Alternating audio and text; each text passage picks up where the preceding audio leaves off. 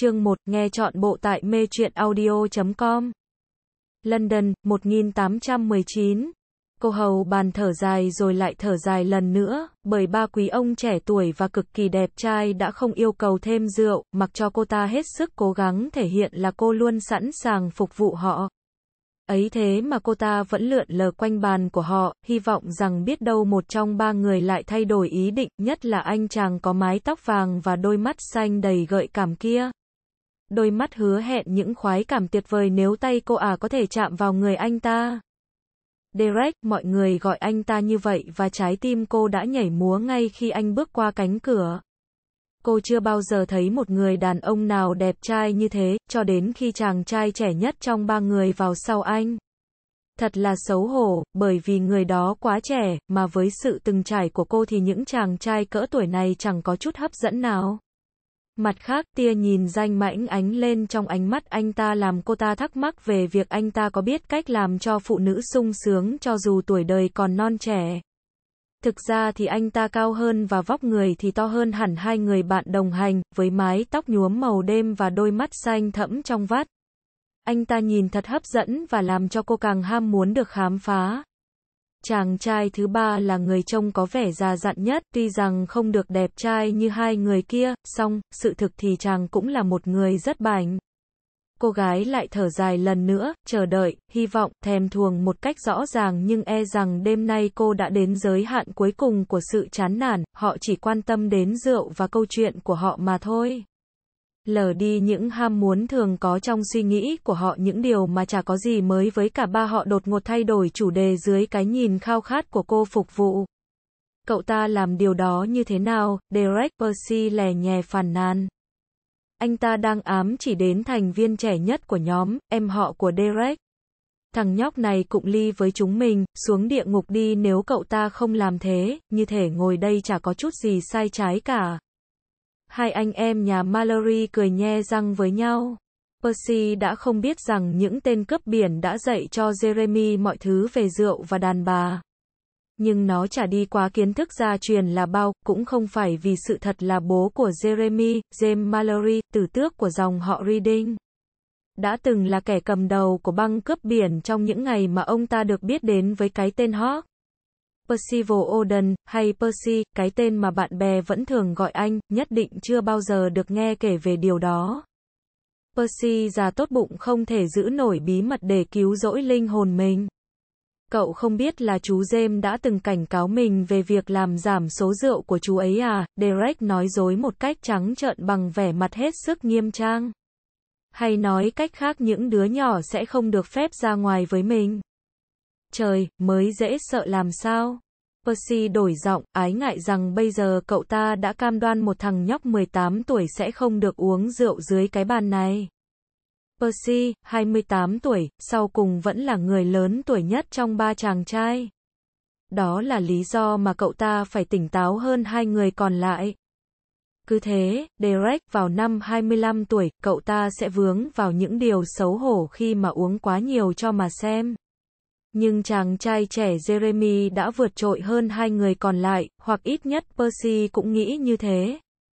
Đáng trách làm sao khi người cha người luôn giữ sự kiểm soát sát sao cố gắng cải tạo một kẻ chơi bời, tranh thủ ngay cả thời gian rỗi của gia đình để tước đoạt thú vui của cậu.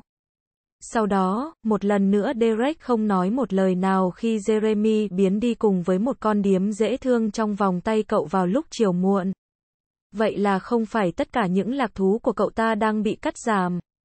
Nghĩ đến điều đó, Percy không thể nhớ nổi quãng thời gian đơn độc từ năm ngoái, từ lúc Derek bắt đầu để cậu em họ dưới sự chỉ bảo của mình. Jeremy đã không bỏ lỡ một cô gái đáng yêu nào để có thể bận rộn trong vài tiếng riêng tư của mình, bất kể trong trường hợp cả ba đã tàn cuộc chơi trong quán rượu, trong một giờ xa hoa ở Eros, hoặc ở những cuộc hội họp của giới thượng lưu. Thằng nhóc có một sự may mắn quái quỷ bất cứ nơi nào có dính líu đến đàn bà.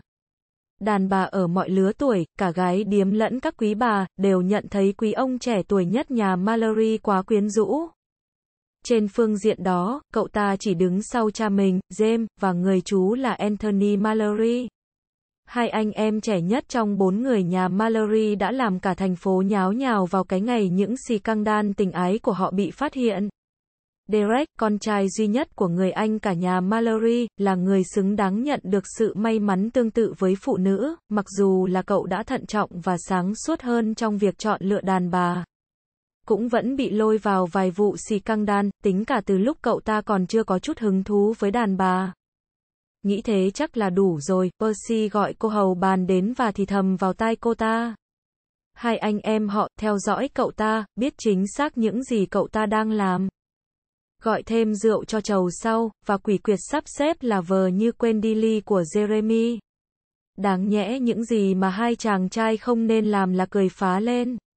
Nhưng Derek chợt chú ý đến cái nhíu mày của cô gái và thấy cô ta nói với quý ông trẻ tuổi rằng chưa một lần nào cô ta bị yêu cầu không rót thêm rượu như thế cả. Đã nhanh chóng gật đầu ra hiệu và nháy mắt cho cô ta hiểu rằng họ đang có một vài trò đùa ở đây. Cô gái đã hiểu ra, cô em thông minh, cười nhăn nhở ngay khi bước đi. Derek có thể thấy cô bé xinh xắn đó đã phần nào được thỏa mãn, dù cho không được như cách cô ta muốn. Cô ta đã ra sức quyến rũ anh ngay khi họ bước vào đây, nhưng anh đã có một cuộc hẹn khác được lên lịch trong vài giờ tới, thế nên chẳng thể nào khuyến khích cô ta được. Đây là quán rượu họ vẫn thường xuyên lui tới, nhưng cô gái này là người mới. Cuối cùng thì anh cũng sẽ thử cô ta, cả ba người họ sẽ làm điều đó nếu cô ta giữ được công việc này đủ lâu, nhưng không phải đêm nay. Bởi họ phải cư xử cho đàng hoàng tại vũ hội ra mắt mùa lễ hội hàng năm diễn ra tại Seaford tối nay. Đó là buổi khiêu vũ cả anh và Jeremy đều được lệnh phải tham gia, bởi đây sẽ là nơi cô em họ nhỏ tuổi nhất của họ, Amy, lần đầu tiên được giới thiệu chính thức trước giới thượng lưu. Cô bé đã được cho phép tham dự vài buổi gặp gỡ ít ỏi từ khi bước qua tuổi 16, nhưng không phải là những buổi vũ hội, và chắc chắn cũng không được trang điểm lộng lẫy bằng đêm nay. Trời ạ, nhưng cô nhóc chanh chua đó đã làm tất cả bọn họ choáng váng bởi nét quý phái của cô, ít nhất là đối với cánh đàn ông trong gia đình, và cả gia tộc Mallory đều có mặt để tham dự đêm nay. Mà từ lúc nào con quỷ nhỏ đáng yêu Amy đã mang lên mình vẻ đẹp đắm say và gợi tình đó thế nhỉ? Đúng là một câu hỏi hay đáng được hỏi, đã khiến tâm trí Percy nhanh chóng sao nhãng khỏi sự thông đồng với cô phục vụ. Đúng như anh biết về Percy, Derek hiểu cậu ta rất rõ, bởi họ đã ở chung phòng với nhau suốt mấy năm cho tới tận bây giờ, đồng chí thân yêu này chắc chắn là sẽ buột miệng khai ra những gì cậu ta đã làm. Bởi Percy đơn giản là không thể giữ nổi bí mật nào, ngay cả một bí mật của riêng cậu ta. Thế nên để đánh lạc hướng Percy, Derek nêu lên vấn đề với Jeremy. Gần đây cậu đã được Amy lựa chọn để làm người hộ tống bất cứ khi nào mấy ông anh của con bé không rảnh. Thế thì sao cậu lại không báo trước cho chúng tôi biết con nhóc đó đã bất ngờ đơm hoa hả? Jeremy chỉ nhún vai. Ai nói là bất ngờ? Những bộ quần áo bác Salad cứ khăng khăng bắt Amy mặc đã che giấu tất cả những gì đã có ở đó, nhưng thực ra thì cũng chỉ mới gần đây thôi. Chỉ cần một cái nhìn sáng suốt là... Derek xém ngất vì cười. Chúa lòng lành, cậu à, nó là em họ của cậu đấy. Cậu chẳng có vẻ gì là đang nhận xét với tư cách là một ông anh họ gì cả. Anh thì không chắc, Jeremy thành thật một cách đáng ngạc nhiên. Hay lắm, địa ngục đang gọi anh đấy, chỗ nào nó được viết như thế ấy nhỉ? Hình như, giống trong cuốn sách của cha cậu, Derek trả lời với cái nhìn châm chọc. Jeremy lập tức thở dài. Em biết mà, ông ấy đã làm nhặng xị hết cả lên về nó bất cứ khi nào em tỏ vẻ ngưỡng mộ Regan nhiều hơn một chút so với những gì ổng cho là cần thiết. Regan cũng là em họ của họ, và là đứa cháu duy nhất mà những người anh lớn tuổi trong gia đình Mallory thay nhau nuôi nấng, mặc dù chỉ có Jeremy và cha của cậu gọi cô là Regan. Nhưng ít ra Derek cũng không cảm thấy phiền khi nghe cô được gọi như thế, không như cha anh và người chú thứ hai. Những người còn lại trong gia đình gọi cô là Reggie, dù tên gọi thực sự của cô là Regina, và cô bé thân yêu đó đã kết hôn với người bạn rất thân thiết của Derek, Nicholas Eden, vài năm trước. Nhưng em có nói là em quan tâm đến Amy đâu, Jeremy giải thích ngay khi tiếp tục, em chỉ nhận xét là cô bé sẽ tỏa sáng ở tất cả những nơi cần phải đến thôi. cũng là nhận xét về cô bé, Percy thình lình đế vào. Mình đang đợi thời cơ của mình, chờ cho đến khi cô bé xuất hiện. Nghĩ xem nên quyến rũ cô bé thế nào nhỉ? Cả hai ông anh họ ngay lập tức chuyển sang thế phòng thủ khi nghe được điều đó, và trong trường hợp này thì rất giống với những người cha của họ, thật là kỳ lạ. Derek là người hét lên, tại sao lúc này cậu lại muốn làm một việc ngu ngốc chết tiệt như thế hả? Đến cùng với Amy là sự bảo vệ kỹ lưỡng của những ông chú của mình đấy. Đừng hòng nghi ngờ về điều đó. Cậu thật sự muốn chú Anthony và chú James bóp cổ cậu hả? Đấy là không kể đến cha mình nữa đấy. Mặt Percy liền tái mét. Ôi chúa ơi, không. Mình không nghĩ đến điều đó, thực sự là mình không nghĩ đến. Vậy thì nghĩ đi, nhưng, nhưng mình cứ tưởng là chỉ có vợ của Nick Reggie mới được bọn họ chăm sóc đặc biệt như thế chứ. Họ đâu có đối xử như vậy với các chị của Amy là Claire và Diana đâu. Claire không hấp dẫn những kẻ chắc táng như cậu Percy, thế nên không cần lo lắng nhiều cho con bé. Và chú Edward đã tán thành sự lựa chọn đầu tiên của Diana, bởi vậy con bé đã kết hôn chẳng bao lâu sau lần ra mắt của mình. Không như Reggie, hai nhóc đó đều có một người cha để quan tâm lo lắng cho hạnh phúc của chúng, vì thế các chú của mình không cảm thấy là phải để hết tâm trí của họ vào đấy. Percy thấy phấn khởi phần nào khi nghe điều đó. Ồ vậy thì, mình chỉ cần nhận được sự đồng ý của quý ngài Edward, thế là xong, phải không? Đừng có mơ đến chuyện đó. Không giống Claire và Diana, Amy trông hệt như Reggie ấy, bởi vậy chú Tony và James không thể không để mắt kỹ càng đến con bé y như họ đã từng làm với Reggie trước khi con nhỏ lấy Nick. Phản xạ có điều kiện, cậu biết mà, Derek thình lình cười nhăn răng, quay sang nhìn Jeremy. Mà trời ạ, cậu có thấy khuôn mặt của họ đêm nay không? Con bé đã hạ gục cả cha cậu và chú Anthony. Đừng tưởng là anh chưa từng thấy cha cậu say tới mức say sẩm mặt mày nhé. Jeremy cười khúc khích, em biết, nhưng mà anh đúng đấy. Em nghĩ là em nên cảnh báo ông trước. Cả anh nữa, Derek nhại theo. Jeremy nhớn mày bắt trước một cách hoàn hảo một trong những điệu bộ của cha mình rồi nói một cách khô khan, em không nghĩ là anh không hề chú ý đến sự trưởng thành của Amy. Cha em có thể được lượng thứ bởi cô vợ trẻ đã làm cho ổng phát cuồng cả lên, nhưng lời bào chữa của anh là gì thế hả? Anh thì đặc biệt chỉ thấy một con danh thôi, Derek biện hộ. Cậu là người duy nhất con bé gọi đến để hộ tống bất cứ khi nào cậu được nghỉ ở trường mà, không phải anh. Với vẻ mặt như sắp đưa ra một ý định nghiêm túc, Percy tình nguyện đề nghị. Hoàn toàn hạnh phúc khi kế thừa việc vặt đó mỗi khi có yêu cầu. Trật tự đi Percy, cả hai anh em tự động gào lên. Nhưng Derek là người đầu tiên nhớ lại rằng họ đang cố gắng ngăn Percy không được bất ngờ quan tâm đến cô bé Amy. Thế nên anh nhanh chóng quay lại chủ đề hy vọng khiến cái đầu Percy sẽ quên đi ý nghĩ ấy, quay sang hỏi Jeremy, nhưng chú James đã rất ngạc nhiên phải không? Sự thay đổi của Amy ấy. Jeremy xác nhận, ô, oh, vâng, em đã nghe thấy cha thở dài trước khi ổng bảo với chú Tony, chúng ta lại phải đến rồi. Thế chú Tony nói gì?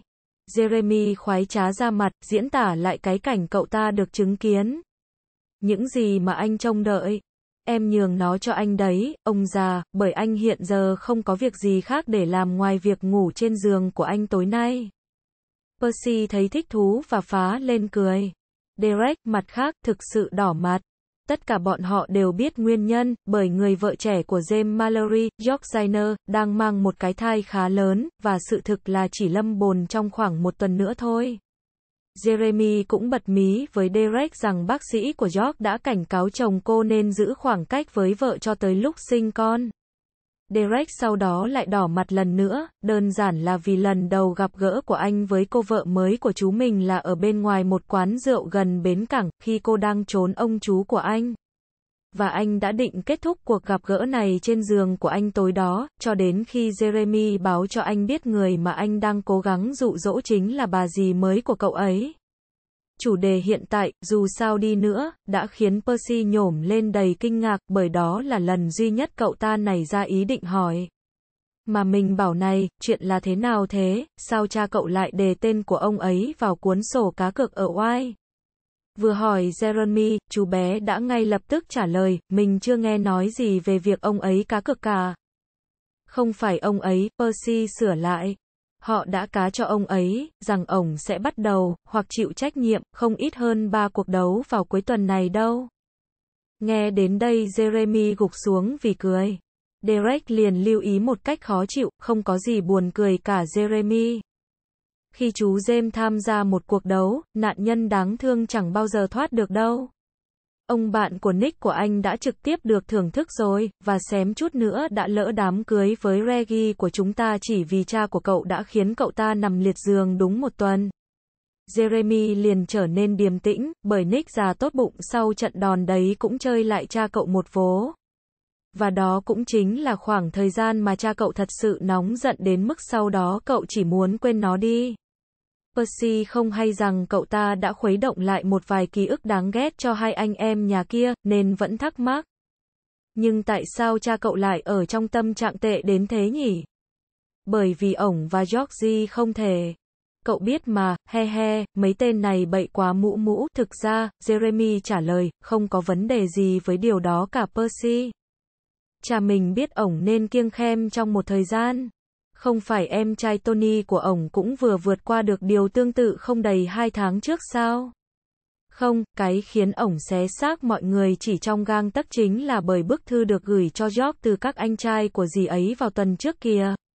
Dường như tất cả bọn họ sẽ trở lại đây vào lúc dì sinh em bé, thế nên có thể sẽ đến trong vài ngày nữa thôi. Chúa tôi, Derek và Percy kêu lên cùng một lúc. Derek còn kịp bổ sung, không ngạc nhiên khi chú ấy đánh gục mình ngày hôm qua mà chẳng có lý do nào cả. Percy nói thêm, mình chưa từng thấy một gã đàn ông nào lại không ưa mấy ông anh bên vợ của mình nhiều như James Mallory đã đặc biệt thể hiện với cái nhóm đến từ Mỹ đó đấy. Và Derek tiếp tục bổ sung lần nữa, chú ấy ghét họ còn hơn cả với Nick già nữa, mà Nick thì chưa bao giờ chú ấy thèm ưa. Chính xác, Jeremy trả lời. Và tất cả những gì gì jock có thể làm là giữ cho họ tránh xa khỏi cái cổ họng của người kia khi họ ở cùng nhau trong một căn phòng. Tất cả bọn họ đã thổi phồng. Một chuyện vặt rồi. Sự thực là, James đã thiết lập một cam kết bán, hòa bình với những ông anh vợ của mình trước khi họ lên tàu về Mỹ, nhưng chàng chẳng thích thực hiện nó một chút nào. Chàng chỉ làm vì lợi ích của jock thôi. Và cũng bởi lý do duy nhất là chàng đã nghĩ rằng đó là lần cuối cùng chàng phải thấy mặt bọn họ. Không phải tất cả bọn họ đều khủng khiếp, những tên người Mỹ ấy. Derek và Jeremy đã ra ngoài cùng hai anh em trẻ nhất nhà Anderson trong thời gian họ ở London. Và đó là những tay rất khá, ít nhất là với Drew Anderson, người được mệnh danh là quỷ dữ hay mục sư. Boy, chàng trai trẻ nhất, lại trông có vẻ quá nghiêm túc đã thích thú tham gia vào cuộc vui với tất cả bọn họ. Nhưng chỉ có một tên anh trai cá biệt mà James thực sự muốn chống đối thôi, kẻ duy nhất đã muốn treo cổ James khi họ may mắn bắt được chàng ở Mỹ năm ngoái. Kẻ mà James sẽ không bao giờ ưa nổi, dù bất cứ lý do nào. Anh cảm thấy vô cùng vui mừng vì anh là người không phải sống trong nhà cậu vào tháng tới, Derek lưu ý tới Jeremy. Jeremy gửi trả cho ông anh họ một nụ cười tâu toét. Ồ, em không biết. Có một sự thú vị chết tiệt đang luẩn quẩn ở quanh đây, nếu anh hỏi em. Em là kẻ không có ý định để lỡ những giây phút cô đơn của mình vì chuyện đó đâu. Chương 2, nghe chọn bộ tại mê audio.com khi đi ngang qua khu mua sắm mới mở trên quảng trường Berkeley, London, Yorkshire và James Mallory đã đi đến quyết định gạt chủ đề về chuyến viếng thăm sắp tới của các anh trai cô qua một bên. Ít nhất là cho thời gian còn lại của đêm nay, bởi đó là chủ đề mà cả hai không có cùng quan điểm, và chắc chắn là họ chưa bao giờ có cùng quan điểm về vấn đề này. Công bằng mà nói, Yorkshire hiểu rõ những cảm xúc của chồng mình. Suy cho cùng các anh trai của cô đã đánh anh một trận tơi bời rồi đem nhốt vào hầm rượu. Người tức giận nhất, Warren, sẽ vui vẻ treo cổ James nếu anh làm được, sử dụng lý do James chính là tên cướp biển đã tấn công hai trong số những con tàu Skylark của họ, một lý do hoàn hảo. Nhưng không phải là nguyên nhân chính. Dù sao đi nữa Warren chỉ dùng nó để biện minh cho hành động của anh thôi. Chứ nguyên nhân thực sự là anh muốn sắp xếp một kết cục vĩnh viễn cho James Mallory là bởi James đã gây tổn hại đến George Ziner và dám cả gan công khai sự thật đó trong buổi tiệc tập trung tới nửa thanh Phố Bridgeport, Connecticut quê hương họ. Phải, Warren là người nhận phần trách nhiệm nhiều hơn cho sự bất đồng vẫn tồn tại giữa chồng và các anh trai cô. Nhưng James không phải là không có lỗi, anh có, thực tế anh chính là kẻ châm ngòi cho cuộc chiến này bằng giọng lưỡi chua ngoa của mình. Và cô đã phát hiện ra rằng, sau khi anh tốn rất nhiều công sức để mang cô ra khỏi nước Anh, anh cố tình làm thế để ép các anh trai cô dùng vũ lực buộc anh phải cưới cô. Việc mà họ đã thực hiện rất nhanh gọn, nhưng không phải là đặt dấu chấm hết cho chuyện treo cổ, ít nhất là đối với Warren. Và dù thế nào cô cũng hiểu được tâm trạng của Warren về chuyện này. Anh trai cô coi thường bọn người Anh ngay cả từ trước chiến tranh năm 1812. Bởi sự phong tỏa châu Âu của nước Anh đã làm tăng chi phí của những con tàu Skylark lên rất nhiều so với các chuyến giao thương khác của họ. Sau đó một số lượng lớn tàu Skylark đã phải nằm im trong cảng và đóng tiền neo đậu hàng tháng khi bọn người Anh cứ tự tiện mở các cuộc truy tìm những con tàu không phải của nước Anh để sung công. Warren đã phải lãnh một cái sẹo nhỏ bên má trái từ một trong những ủy ban chuyên đi thực hiện việc này. Khi cái lũ Anh đó cứ khăng khăng bắt sung công toàn bộ thủy thủ trên tàu của anh và anh ấy chỉ cố gắng để ngăn ngừa chuyện đó mà thôi. Không, chẳng có ông anh nào của cô mang trên người tình yêu với nước Anh cả, và cuộc chiến tranh chỉ khiến cho mọi thứ trở nên tệ hơn.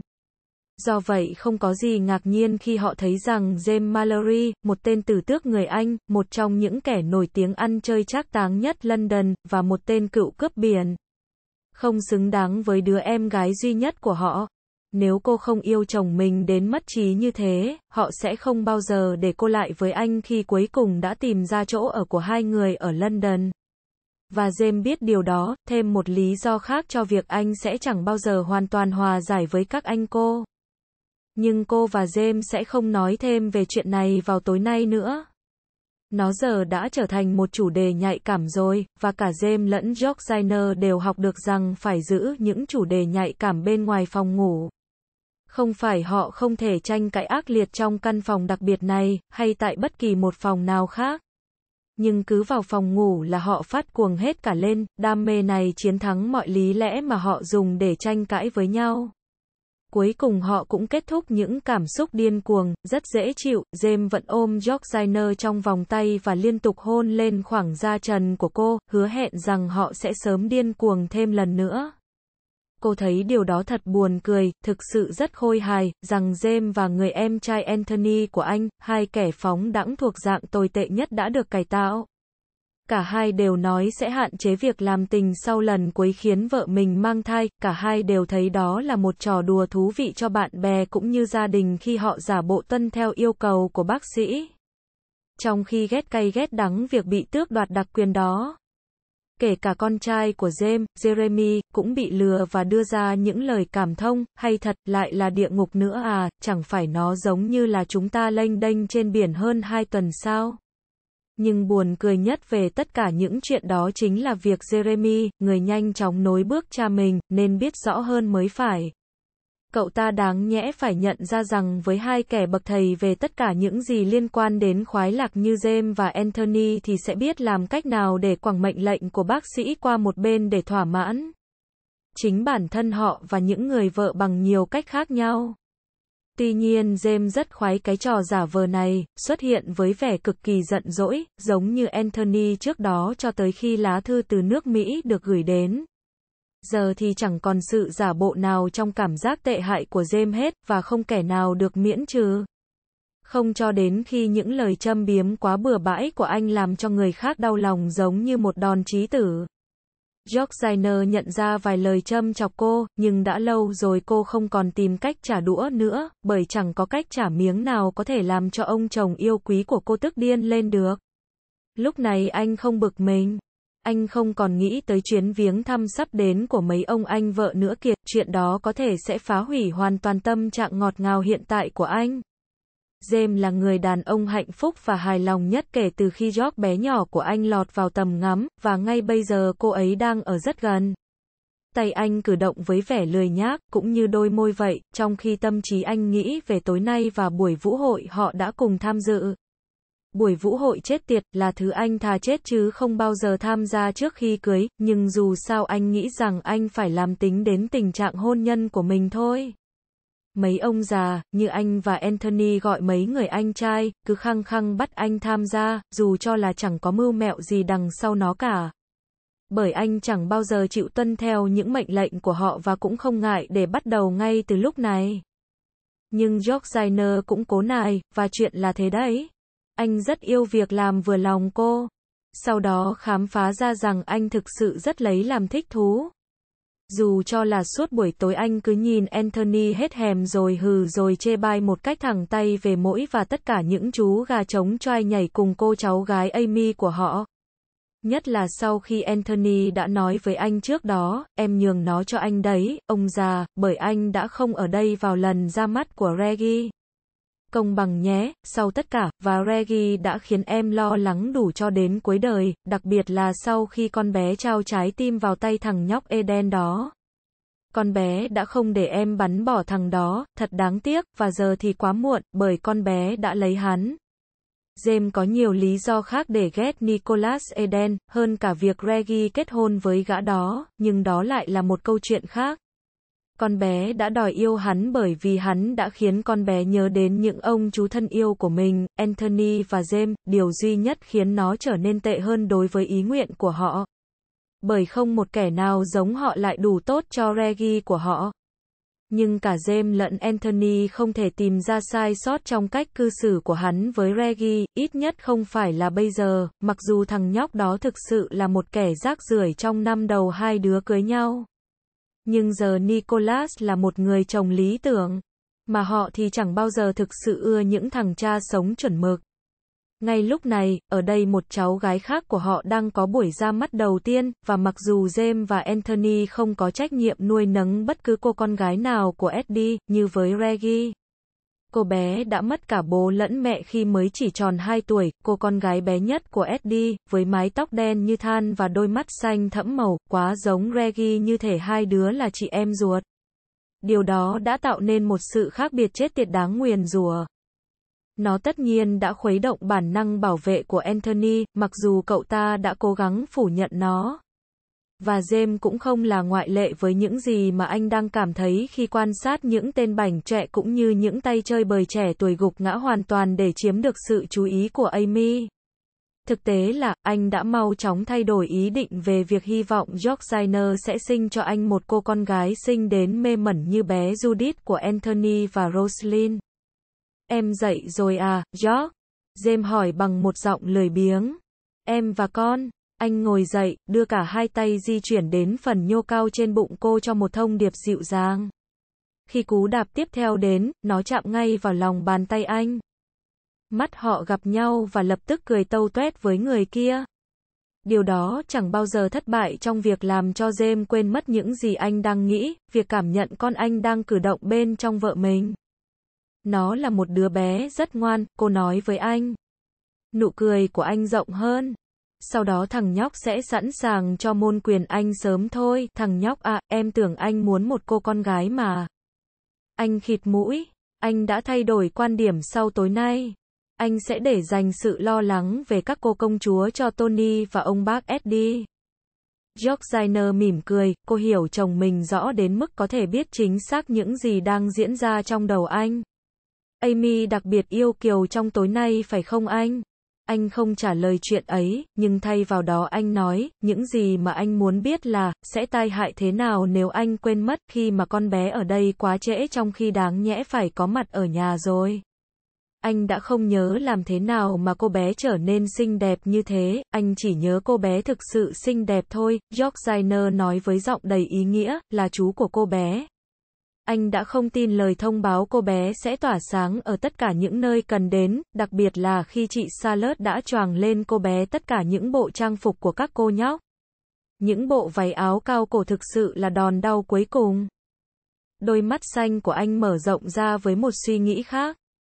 Chúa tôi, em không nghĩ tới lời cảnh báo của Jeremy, không phải chứ, và là nguyên do tại sao thằng nhóc có vẻ rất hài lòng về việc bảo vệ con bé như thế đấy hả? George phá lên cười, cố gắng đập cho anh một cái, nhưng thật khó mà với được anh qua cái bụng bầu của cô. Anh thật không thể tin được, James. Sao anh có thể quy những quan điểm phóng đẳng cho cậu nhóc ngọt ngào đó thế? Thằng bé mới chỉ 18 tuổi thôi, vì chúa. Nhướn một bên lông mày màu vàng lên, một điệu bộ của anh mà cô từng rất ghét, nhưng giờ thì cô rất thích. Ngọt ngào á, anh nói.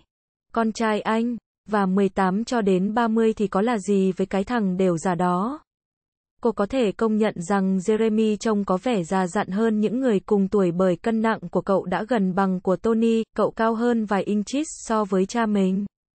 Và sở hữu một bộ ngực thô dám y như của James nữa đã khiến cậu trông quá ghê gớm so với những chàng trai cùng tuổi. Nhưng cô sẽ không dám đề cập điều đó với cha cậu bé, người đã quá đủ tự hào về con trai rồi. Phải rồi, anh không cần lo lắng về Jeremy với Amy đâu. Em tình cờ được biết chúng chỉ là bạn tốt thôi. Và lại, hai đứa cùng tuổi, anh biết mà. Cô bé sẽ tròn 18 trong vài tuần nữa thôi. Em rất ngạc nhiên khi chị Salad đã không bắt cô bé phải đợi thêm vài tuần trước khi chính thức ra mắt đấy. Đó là những gì ông bác Eddie đã làm. Anh ấy sẽ sờ đến mọi chỗ mà những cô con gái của anh ấy có liên quan tới. Chuyện đó, thực ra mà nói, không phải là những gì Amy cần ngay lúc này. George Zainer hơi nhướn lông mày của cô lên. Anh cũng đang định quan tâm đặc biệt đến cô cháu này phải không? Không đến mức ấy đâu, anh trả lời bằng giọng khô khốc. Những cậu con trai mới là sở thích đặc biệt của anh, em không biết đâu, và anh sẽ hứng thú với thằng con trai mới nhất của mình hơn hẳn việc lo lắng cho đứa con gái nhỏ nhất của Eddie. George Zainer nghi ngờ điều đó, khi mà cô đã nghe anh nghiêm túc thế nào trong việc nuôi nấng Reggie. Đó là khi anh phản đối chia sẻ một khoảng thời gian công bằng với cô cháu gái trong những ngày làm cướp biển của anh, anh đã bắt cóc cô gái trong vài tháng lênh đênh trên biển. Để rồi bị các anh trai mình từ mặt trong vài năm. Nhưng Reggie luôn là cô cháu được yêu mến, mặc dù cô bé giống con gái của tất cả bọn họ hơn, bởi thế có lẽ James và Anthony sẽ để Amy cho bố cô bé quan tâm và lo lắng. Bởi Edward đã trông nom rất tuyệt bốn đứa con khác của anh ấy. Không tệ đến mức ấy đâu. Giờ thì anh đã thay đổi suy nghĩ về việc có một đứa con gái, thế nhỡ chúng ta có một đứa thì sao? Anh đặt một nụ hôn lên giữa cái bụng bầu của cô rồi nhe răng ra cười, tuy nhiên giọng của anh hài nhất có thể. Anh sẽ cố gắng kiên nhẫn cho, à, nói chung tùy thuộc cả vào nó. Cô đã có một khoảng thời gian tuyệt vời trên giường trong khi anh nỗ lực thực hiện nó theo ý muốn của anh ở lần thứ hai, đó là tất là những gì cô có thể trông đợi. Chương 3, nghe chọn bộ tại mê audio com Cùng lúc đó, trong một tòa nhà lớn ở phía bắc quảng trường Berkeley, Amy Mallory cuối cùng cũng đang chuẩn bị đi ngủ. Nhìn vào chiếc gương trên bàn trang điểm, nơi cô ngồi chảy mái tóc đen dài của mình, cô thấy mẹ cô, Charlotte, đang di chuyển nhẹ nhàng trong căn phòng giúp Vù Agni mang đi trang phục lộng lẫy mà Amy đã mặc, lục tục mang đi đôi tất gen, đôi giày đế bằng, và đôi găng tay buổi tối phớt hồng của cô. Cô đang tìm cách để nói với cha về việc cho cô một người hầu gái riêng. Cả hai chị của cô, Claire và Diana, đều có người hầu riêng, và đã mang theo khi các chị ấy rời nhà đến sống với những người chồng mới. Nhưng Amy luôn luôn phải chia sẻ người hầu với một ai đó, và bây giờ bên cạnh cô chỉ còn lại duy nhất Vu Agni, người đã chăm sóc Salad từ khi bà còn nhỏ. Amy cần một người không bảo cô phải làm những gì thì mới đúng quy tắc, cũng như không phải la dày hay hướng dẫn nhiều như đối với những người hầu khác. Giờ đang là thời điểm quan trọng và và Amy không thể tin nổi cô đang nghĩ về những chuyện nhỏ nhặt thế này khi cô vừa trải qua một ngày thú vị nhất trong đời mình. Thực ra, có một ngày khác còn đáng say mê hơn, ngày mà cô sẽ chẳng bao giờ quên, ngày mà cô đã nhớ đến không biết bao lần trong 6 tháng qua kể từ lúc nó xảy ra. Đó là ngày cô gặp những người anh trai của George Zainer Mallory và đi đến quyết định quan trọng cả đời, gần như là chơi chẽn, là cưới một người trong bọn họ. Và không phải cô đã thay đổi ý định sau những tháng vừa qua. Cô chỉ không thể hình dung được làm cách nào cô sẽ thực hiện được mục tiêu của mình khi người đàn ông cô muốn đã lên tàu quay trở lại Mỹ và cô chẳng thể gặp lại anh nữa. Thật là mỉa mai khi điều khiến cho hôm nay trở thành ngày đặc biệt nhất đối với cô. Bên cạnh sự thật rằng cô tưởng như đã phải chờ đợi mãi mãi để có cơ hội tham gia vào thế giới của những người trưởng thành, và buổi ra mắt của cô đã thành công rực rỡ. Chính là việc nghe trộm được cô Jock và chú James tranh luận, hoặc hơn tranh luận một chút, là cãi nhau. Bởi lá thư đã báo cho họ rằng năm người anh của cô ấy đang trở lại nước Anh vào ngày đứa con đầu lòng của cô ra đời. Tin này thực sự là tin ngọt ngào nhất trong ngày hôm nay của Amy. Anh đang quay trở lại. Giờ cô đã có cơ hội để làm anh lóa mắt bằng sự thông minh và nét quyến rũ của mình, làm anh phải chú ý đến cô, bởi chắc chắn anh không hề để ý đến cô vào lần đầu họ gặp mặt. Anh chắc không thể nhớ đã gặp cô vào lần đó, nhưng tại sao thế? Cô chỉ biết im lặng và sừng sốt bởi những gì mà cô cảm nhận được về anh, và rõ ràng những cảm nhận đó chắc chắn làm cho cô không thể hiện được vẻ hoạt bát nhất của mình. Sự thực là Amy đã lớn lên về cả thể xác lẫn tâm hồn từ vài năm trước, bởi thế mà việc chờ đợi được chính thức gia nhập cùng những người trưởng thành đã hoàn toàn làm cô thất vọng. Và sự nhẫn nại không phải là một trong những đức tính đáng quý của cô. Cô thực sự đã trở thành một kẻ chơi cháo khi cô lựa chọn và hướng mình vào việc tai hại ấy. Một tí xíu e thẹn hay ngượng ngùng cô cũng chẳng có, y như những gì cô dự đoán. Và cô có sự bao bọc của gia đình, ít nhất, đã giữ cho bản tính táo bạo đến không biết xấu hổ của cô ít bộc lộ ra để cô không làm mọi người thất vọng với cái mặt dày của mình. Hành vi chơi cháo dĩ nhiên là không hại gì và thậm chí là rất tốt đối với những kẻ chắc táng trong gia đình, và nhà Mallory có thừa sự công bằng khi san sẻ những điều đó. Nhưng nó lại chẳng phù hợp chút nào với nữ giới. Jeremy đã bắt đầu nghi ngờ, nhưng bởi cô cực kỳ yêu mến ông anh họ đặc biệt này, và từ khi họ trở thành những người bạn thân thiết, cô không bao giờ giấu giếm bản tính thực sự của mình với anh ấy. Và cô cũng sẽ không che giấu tính cách mình với anh trai của cô George nữa, không che giấu bất cứ khi nào cô ở bên cạnh anh. Nếu chuyện đó xảy ra, cô sẽ trở thành kẻ chơi chẽn nhất bất cứ nơi nào anh có mặt trong trường hợp cô thôi không im bặt vì những cảm xúc xáo trộn một lần nữa bởi cô sẽ dồn hết tâm trí vào anh. Anh không quay lại nước Anh để sinh sống, mà chỉ đơn thuần là ghé thăm thôi. Nên cô sẽ có rất ít cơ hội để làm anh để ý đến cô, với khoảng thời gian ít ỏi của mình cô cần tận dụng từng chút để hiểu thêm về anh. Việc phát hiện ra người chồng tương lai của cô, Amy chỉ một kẻ vô dụng nếu không tin chắc anh chính là người chồng tương lai của mình, dần đơn giản khi cô trở nên thân thiết hơn với cô York. Người chỉ hơn cô 4 tuổi. Cô bắt đầu ghé thăm York Ziner khi cô ấy và chú James vẫn còn sống cùng với chú Tony trên đường Piccadilly. Sau đó là lúc họ bắt tay vào trang hoàng cho ngôi nhà mới trên quảng trường Berkeley, Amy đã tình nguyện giúp đỡ với tất cả lòng nhiệt thành. Và cứ mỗi lần viếng thăm cô đều khéo léo hướng câu chuyện xoay quanh những người anh trai của George Zainer khiến George Zainer có thể kể mọi điều về họ mà Amy không cần phải đặt bất cứ câu hỏi nào. Cô không muốn sự quan tâm mang tính chất cá nhân của mình bị lộ, càng không muốn bị người ta nói rằng cô quá trẻ so với người đàn ông mà cô muốn quyến rũ. Lúc ấy có thể cô còn trẻ con thật, nhưng không phải bây giờ và George Zainer, với nỗi nhớ ra diết về những người anh của mình, luôn vui sướng nói về họ, thuật lại những rắc rối thời thơ ấu và cả những lần chơi khăm mà tất cả bọn họ đã gây ra cho cô. Nhiều bằng các chuyến phiêu lưu và cả những bất hạnh họ gặp phải từ khi bước vào tuổi trưởng thành. Amy được biết rằng Boy là người anh trẻ nhất, 27 tuổi và nghiêm túc như một ông già. Drew, 28 tuổi, đều đến mức quỷ sứ cũng phải đề phòng và là người luôn mang lại tiếng cười cho cả gia đình. Thomas tròn 32 tuổi và có tính nhẫn nại của một vị thánh. Không gì có thể làm cho anh mất bình tĩnh, ngay cả với chú James, người đã bắn thẳng vào mặt hồ yên ả ấy. Warren, vừa bước qua tuổi 36, là một kẻ kiêu căng, và là người có miệng lưỡi cay độc nhất trong gia đình. Một con gà mẹ xù lông, Yorkshire gọi thế, và một tên đều cắn bất cứ chỗ nào có dính đến đàn bà. Và Clinton, người anh cả của gia đình Anderson, 41 tuổi, là người rất nghiêm khắc, không bao giờ xử sự mà không suy nghĩ và rất hợp lý khi cho rằng anh giống với Jason Mallory. người chủ cả gia tộc Mallory và là hầu tước Haverston đời thứ ba. Thực tế là cả hai người đều đã nói những lời giống y như nhau một cách đầy kinh ngạc khi họ gặp nhau.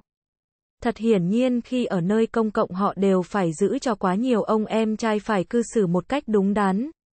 Amy đã thất vọng một thời gian sau khi khám phá ra rằng, năm anh chàng đẹp trai nhà Anderson, và tất cả đều trông rất đặc biệt, người cô chọn thực sự là người ít thích hợp với cô nhất. Nhưng sau đó, cô đã thực sự không lựa chọn anh. Cảm xúc mà anh đã khuấy động trong cô đã làm việc đó, nói với cô không chút nghi ngờ rằng anh chính là người đàn ông của đời cô. Không một ai trong những người anh trai còn lại đã khiến cô có cảm giác ấy, hay bất kỳ một người đàn ông nào khác, và cũng không có ai trong trong đêm nay. Khi cô nhận được những lời tán dương từ những ứng cử viên sáng giá để giành lấy sự chú ý của cô, và nghe được các cô York và Roslyn hồi tưởng lại những gì họ đã cảm thấy khi lần đầu gặp gỡ các ông chồng của họ, Amy dĩ nhiên là hiểu những cảm xúc đó ý nghĩa như thế nào. Không có bất kỳ một sự giúp đỡ nào, hoàn toàn không. Và cô có đủ lạc quan cũng như đủ sự tự tin chắc chắn, đặc biệt là sau thành công vang dội của cô tối nay, để cảm thấy rằng cô sẽ không gặp trở ngại nào đâu. À, thực ra thì có một ít quả thật, một số vấn đề lớn nhưng tất cả những điều đó sẽ bị khuất phục thôi miễn là cô có thể tiếp cận được anh, và bây giờ thì cô có thể làm được điều đó. Ở đây, ngay bây giờ, mẹ cô nói ngay khi tiến đến bên cạnh Amy và chải tóc giúp cô. Con hẳn phải kiệt sức rồi, và không ngạc nhiên chút nào. Mẹ tin là con đã nhảy tất cả các điệu vũ. Bình minh sẽ ló dạng trong một giờ nữa, nhưng Amy không cảm thấy mệt. Cô vẫn còn quá lâng lâng cùng sự vui sướng để có thể đi ngủ nhưng Charlotte sẽ ở lại và nói chuyện trong vài giờ tới nếu cô thú nhận điều đó, nên cô gật đầu, cô cần một chút thời gian cho bản thân trước khi sự mệt mỏi xâm chiếm bản thân cô. Tôi biết cô bé sẽ thành công, Agni phát cáu vì cái tủ quần áo, mái đầu hoa dâm của bà gật lên gật xuống. Và cũng biết cô bé sẽ khiến cho cô con gái lớn nhất của bà phải hổ thẹn, Lotte. Thật may là bà đã cho chúng đi lấy chồng trước khi con bé ra mắt. Bà chủ có nghe tôi nói không thế? Agni đáng lý ra không có nhiệm vụ quản lý Amy. Salad cũng chia sẻ chung quan điểm ấy, nhưng không bao giờ giải thích hay nghĩ đến việc sẽ để người hầu gái này về đúng chỗ của bà ấy. Những vết tàn nhang của bà đã nhạt màu, bà giờ đây cũng tròn trĩnh như các tiểu thiên thần ấy, và các ngón tay thì không thể nhanh nhẹn hơn được nữa. Nhưng Agni đã ở đây quá lâu đến mức yêu mến gia đình này, và đó là lý do. Amy thở dài một mình. Rất tốt và hợp lý khi nghĩ đến việc thay thế Agni bằng người hầu gái riêng của cô, nhưng cô biết cô sẽ không bao giờ làm điều đó, không bao giờ khi điều đó có thể làm cho bà tổn thương. Charlotte hơi cau mày với nhận định của Agni khi bà nhìn ánh mắt của Amy qua tấm gương bà vẫn là một người phụ nữ đẹp ở tuổi 41, mái tóc vẫn chưa điểm chút hoa dâm cùng đôi mắt nâu ấy đã di truyền cho tất cả những người con trừ Amy, người giống Anthony. Reggie và Jeremy có mái tóc đen và đôi mắt xanh thẫm đầy mê hoặc của cụ bà của dòng họ Mallory, theo lời đồn là một người Gypsy thuộc Ấn Độ. Ông bác Jason đã có lần nói riêng với cô đó không phải là lời đồn mà trăm phần trăm là sự thật. Và cô không thể chắc chắn bác ấy có đang trêu chọc cô không nữa. Mẹ tin là các chị con có lẽ có chút ghen tị với con tối nay đấy, salad nói, dĩ nhiên là trừ Claire. Claire quá hạnh phúc với Walter của chị ấy để nhớ rằng chị ấy phải mất 2 năm mới tìm thấy anh ấy, và chính sự tỉ mỉ, hoặc kiên nhẫn của chị ấy, đã được đền đáp, bởi Walter có tước vị rất cao. Mà điều gì khiến chị ấy phải ghen tị trong khi chị ấy sắp trở thành một bà công tước hả mẹ? Salad cười tâu toét, rất tốt. Và mặc dù con không có người trực tiếp làm chứng, Amy giờ vẫn còn bực bội vì mọi người đã bắt cô phải đợi đến lúc 18 tuổi. Trong khi chị Diana đã được cho phép ra mắt khi chị ấy mới 17 tuổi rưỡi, con đã nghe mọi người nói rằng chị Diana cũng có rất nhiều anh chàng vây quanh chị ấy như con vậy. Và chị ấy đã tình cờ phải lòng người đầu tiên va vào cái cửa sau. Hoàn toàn chính xác, Charlotte thở dài. Điều đó làm mẹ nhớ ra chúng ta sẽ bị tấn công tới tấp vào ngày mai đấy, hoặc đúng hơn là hôm nay, với tất cả những chàng trai trẻ hy vọng sẽ làm con lóa mắt ở buổi vũ hội. con thực sự phải đi ngủ một chút đi, hoặc con sẽ không phải là người cuối cùng kết thúc tiệc trà đâu. Amy cười khúc khích, ô, dĩ nhiên con sẽ là người cuối cùng mẹ à. Con sẽ tận tưởng từng phút của trình tự tỏ tình, cho đến khi nào người đàn ông con muốn bắt cóc con đi. Diễn tả mới thiếu tế nhị làm sao, Salad kêu lên. Bắt cóc con đi, thật là. Con bắt đầu có giọng giống con trai của James rồi đấy. Hay lắm, chuông địa ngục điểm rồi, mẹ không nghĩ thế sao? Mẹ cô bật cười. Thôi nào dừng ở đây.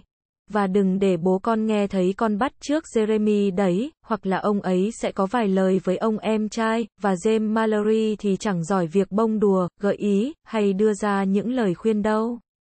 Mẹ thề đấy, cho đến hôm hay mẹ vẫn khó mà tin hai người là anh em, họ quá khác nhau. Cha không giống bất kỳ người anh em nào cả, nhưng con thích cha luôn là chính mình như vậy. Tất nhiên rồi con yêu, Salad đáp lại, như sự nuông chiều ông ấy dành cho con. Không phải lúc nào cũng chiều đâu mẹ, nếu không con đã chẳng phải đợi. Những từ cuối cùng trở nên nhỏ dần ngay khi Salad cúi xuống và ôm cô thật chặt. Đó là lỗi của mẹ, con yêu, và đừng giận một người mẹ muốn giữ con gái bé bỏng của mình thêm một chút thời gian được không con? Con đã lớn lên quá nhanh. Con là đứa cuối cùng, nhưng sau thành công đêm nay, mẹ biết con sẽ bị bắt cóc chẳng bao lâu nữa bởi một người đàn ông tuyệt vời. Mẹ muốn điều đó, tất nhiên rồi, nhưng đừng đùng một cái như thế. Mẹ sợ mẹ sẽ nhớ con nhiều nhất khi con rời nhà để kết hôn. Giờ thì ngủ một chút đi con. Sự kết thúc đột ngột câu chuyện của mẹ làm Amy giật mình, cho đến khi cô nhận ra mẹ sắp rơi nước mắt, và đó là lý do tại sao bà đã vội vàng kéo vú Agni đi ra với bà. Amy thở dài, lẫn lộn giữa hai cảm xúc hy vọng và sợ hãi trước những lời tiên đoán của mẹ. Charlotte sẽ nhớ cô nhất nếu Amy đạt được ước vọng của mình, bởi cô sẽ chuyển đến Mỹ, ngăn cách cả một đại dương giữa cô và gia đình mình, để sống với người đàn ông mà cô lựa chọn. Cho đến lúc này, cô không thể nhận thức được mọi chuyện sẽ diễn ra theo hướng này. Những cảm xúc chết tiệt. Tại sao họ lại không phải là những người anh hả trời? Chương 4, nghe chọn bộ tại mê audio.com Sao lại là Judith? James hỏi em trai, ám chỉ đến cái tên vừa được đặt cho đứa cháu mới nhất của mình. Sao không phải một cái gì đó mang giai điệu như Jacqueline? Cả hai người đang ở trong phòng trẻ, căn phòng mà Anthony ở thường xuyên hơn bất cứ nơi nào khác trong nhà khi cậu ta ở nhà. Hôm nay cậu ta đã có cơ hội được chăm con, bởi vợ cậu ấy, Roslyn, đã đi thăm quý bà Frances bạn của cô ấy. Nettie, bà già Scott Homham đó đã trở thành một phần khăng khít của Roslyn, và là người chuyên chăm sóc Judith bé nhỏ, sẽ chỉ bỏ trống căn phòng khi nào bị đe dọa là sẽ bị trừng phạt nặng nề. Anthony lúc này có hơi vụng trước công việc nội trợ của mình, hoặc là vợ cậu ta muốn cậu ấy quen dần với nó. James nghiêng về giả thuyết Roslyn sẽ làm thế bằng cách này hay cách khác.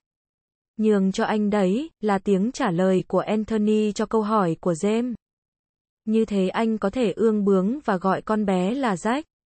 Sao anh không đặt tên cho con gái của anh là Jacqueline, rồi sau đó gọi bé là Jack? Trong trường hợp ấy, anh sẽ đơn giản bằng cách gọi luôn con bé là Jack, dù sao thì cũng chẳng có lý do gì để mà thay đổi cả, Anthony khịt mũi. Anh không nghĩ là George sẽ đánh giá cao điều đó à? James thở dài, từ bỏ ý tưởng đó trước khi nó bắt đầu ăn sâu. Đừng vội nghĩ rằng cô ấy sẽ chấp nhận. Hoặc các anh trai của chị ấy, Anthony nói thêm một cách xấu tính. Trong trường hợp ấy, anh sẽ làm thế, phải không? Bất cứ cái gì để chọc tức cái đám quê mùa thô lỗ đó, James trả lời với sự thành thật tuyệt đối. Anthony bật cười, làm Judith giật mình, mái tóc quăn của bé ngọ nguậy trên tay anh. Cô bé không khóc, chỉ đơn thuần là vẫy vẫy đôi tay để biểu lộ cảm xúc. Cha bé vội nắm lấy những ngón tay nhỏ xíu ấy đưa lên môi mình, trước khi liếc dê một lần nữa. Họ rất khác biệt, như đêm và ngày ấy, cả hai anh em. Anthony cao hơn và mảnh khảnh hơn, với mái tóc đen và đôi mắt xanh, trong khi đó James, lại giống hai người anh trai kia, to lớn, vàng hoe, và đôi mắt xanh dịu ngọt ngào. Judith, giờ đây, mang đặc điểm của cả cha và mẹ cô bé sẽ sớm thừa hưởng mái tóc màu đỏ đồng đáng tự hào của mẹ, nhưng đôi mắt lại hệt y màu xanh thẫm sâu thẳm của cha. Anh nghĩ những tên Mỹ đó sẽ ở lại trong bao lâu? Anthony hỏi. Rất lâu cho mà coi, James cáu kỉnh trả lời.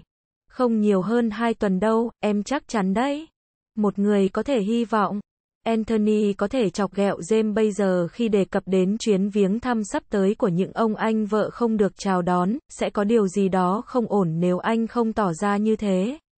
Nhưng để công khai chống lại những kẻ thù đó, anh cần phải sát cánh bên cạnh anh trai mình. Nhưng bây giờ mấy tên Mỹ đã đến đâu? Anthony vẫn tiếp tục cười nhăn nhở khi tình cờ đưa ra ý kiến, em nghĩ là họ sẽ muốn ở cùng anh, giờ thì anh đã có nhà riêng rồi mà. Ngậm miệng chú lại, đã quá đủ tệ khi anh để bọn họ vào nhà rồi. Anh sẽ làm máu chảy lênh láng khi đánh vỡ vài cái sọ nếu ngày nào cũng phải trông thấy mặt chúng. Không gì có thể giúp anh đâu. Ồ thôi mà, đâu phải tất cả mấy kẻ đó đều xấu. Có hai tên trong số họ em thấy rất là cừ đấy, và anh sẽ làm khá tốt nếu anh chịu thừa nhận chuyện đó. Jason sẽ thích Clinton ngay lập tức. Jeremy và Derek cùng lúc đó sẽ khuấy động một khoảng thời gian thú vị với hai người trẻ nhất. James nhướn một bên lông mày hứa hẹn sẽ dần cho Anthony một trận nếu cậu ta không mau chóng hạ man. Thế ai sẽ xử lý Warren? Không thể nói rằng đó là hai chúng ta. Không bao giờ là hai chúng ta.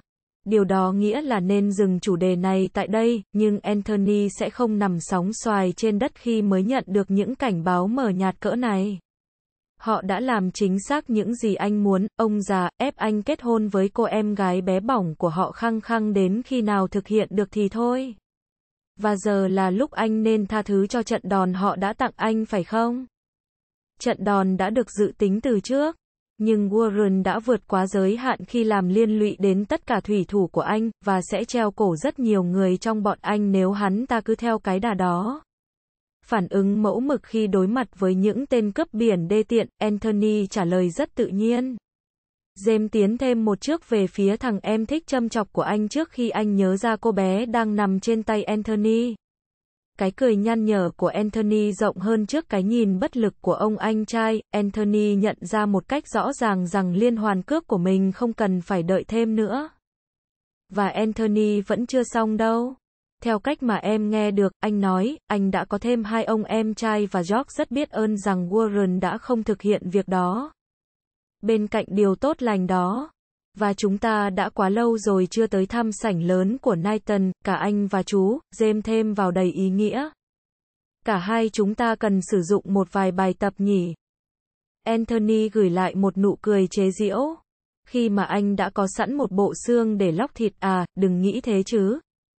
Rồi em sẽ dính vào mấy cái cọc nhà mất thôi, những hội viên ở Nighton sẽ thay thế em, cảm ơn nha. Nhưng bọn họ không được yêu cầu, chú em thân yêu ạ, à, tuy nhiên, vợ em rất thích khuôn mặt em hiện giờ. Cô ấy sẽ không đánh giá cao việc anh chỉnh lại vị trí mũi em bằng những nắm đấm như búa tạ của anh đâu.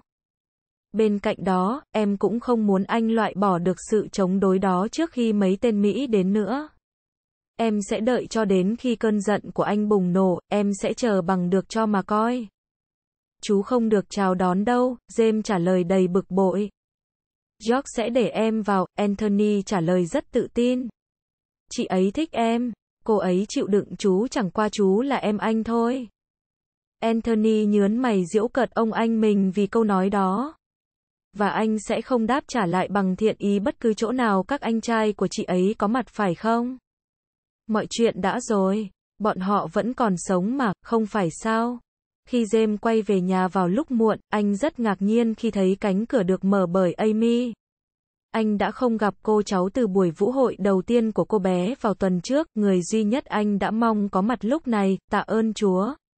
Nhưng George đã kể anh nghe Amy đã đến thăm cô ấy chỉ vài ngày trước đây cơ mà.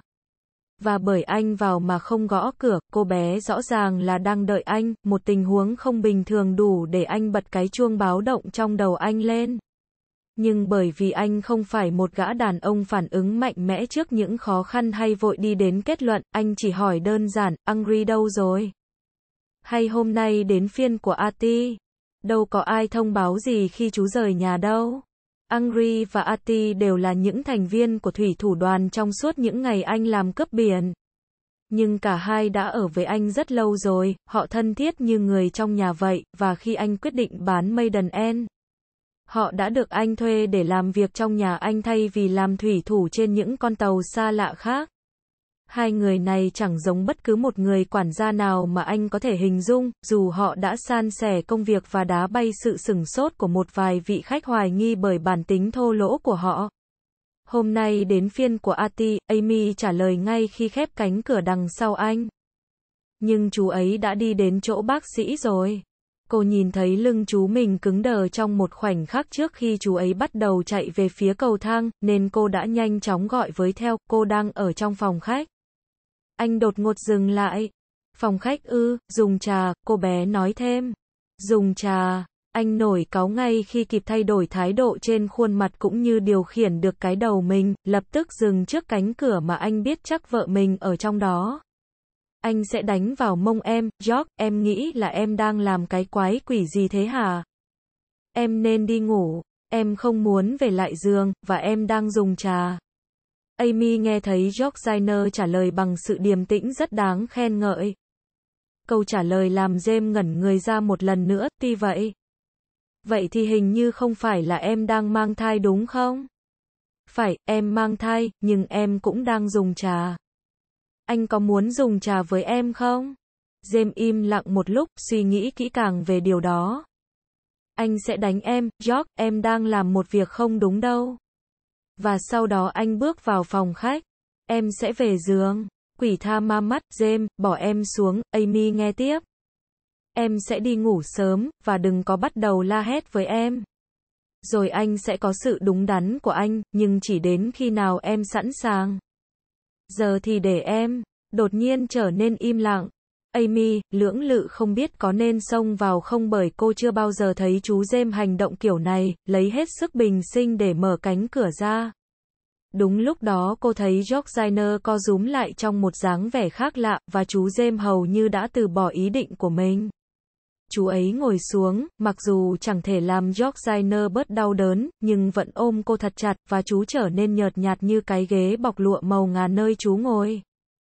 Từ lúc nào những cơn đau xuất hiện, anh bắt đầu nhận ra khi hơi thở cô dần bình thường trở lại. Sáng nay, sáng nay, nếu anh chuẩn bị hỏi sao em không nói điều đó trước khi anh ra khỏi nhà, hãy thử lắng nghe bản thân anh một chút và anh sẽ có câu trả lời. Giờ thì bỏ em xuống, James, để em có thể uống hết tách trà của em. Amy dường như vừa rót thêm một chút. Amy, anh gầm lên về phía một hướng mới. Cái quái quỷ gì cháu đang nghĩ khi làm chuyện này thế hả, phục vụ vợ chú? Tôi cầm anh chút sự lo lắng của anh lên đầu Amy, york Zainer nguyền rủa bằng một cú đấm vào vai anh. Tôi muốn dọn dẹp nhà cửa, nếu anh muốn biết, nhưng cô bé thuyết phục tôi dùng trà thay vào đó. Nếu anh không có hứng thú tham gia với chúng tôi, anh có thể uống rượu, nhưng dừng cái việc la hét của anh lại đi. James thả cô ấy ra đủ lâu để có thể lùa tay vào mái tóc mình. George đã lấy được lợi thế từ sai lầm của anh để trốn khỏi lòng anh và với tay đến tách trà của cô, như thể đó không phải là ngày mà cô sắp sửa sinh đứa con đầu lòng của cô. Một lát sau khi anh nói, không biết là nói với người nào, anh xin lỗi. Anh đã không trải qua điều này khi có Jeremy. Anh nghĩ anh thà là để cho chúng lớn phổng lên và nói với anh rằng anh đã sinh ra chúng sau đó. Nhất định là anh thích cách đó hơn. Amy thấy thương chú mình liền giải thích. Cháu chỉ có thể ở bên cạnh cô để vượt qua tất cả chuyện này, cháu biết bất cứ ai muốn khôn lớn cũng phải trải qua, không hại gì cả, chú biết mà, nên cháu cũng vừa gửi tin đến mẹ cháu. Cô Roslyn và cả chị Reggie nữa. Ở giữa tất cả những người đó, họ sẽ đảm bảo rằng bất cứ cái gì cô ấy muốn làm đều là những gì cô ấy cho là đúng. George Zainer cũng dịu lại và thêm vào, đây thực ra lại là một phần đơn giản, James à. Sự thực là em đã gợi ý anh dùng chút rượu và dở vài trò xảo quyệt trước khi phần khó khăn bắt đầu hoặc việc tìm kiếm anh sẽ trở nên khó khăn. Em sẽ thông cảm cho anh nếu anh muốn chờ đợi điều này ở câu lạc bộ quen thuộc của anh. Chú chắc chắn là cháu sẽ làm thế. Anh cũng chắc chắn là em sẽ làm thế, nhưng anh sẽ ở ngay bên cạnh em nếu em cần anh. Amy đã đoán rằng chú ấy sẽ nói thế. Cô Georgina chắc hẳn cũng đoán được điều đó, bởi cô mỉm cười và nghiêng người để hôn chú ấy. Sau đó một tiếng gõ cửa vang lên. Mọi người đã bắt đầu đến rồi, Amy nói. Ha, James trả lời với phần nào nhẹ nhõm. Charlotte sẽ bắt em nằm im trên giường đấy George, đợi mà xem nếu chị ấy không làm thế.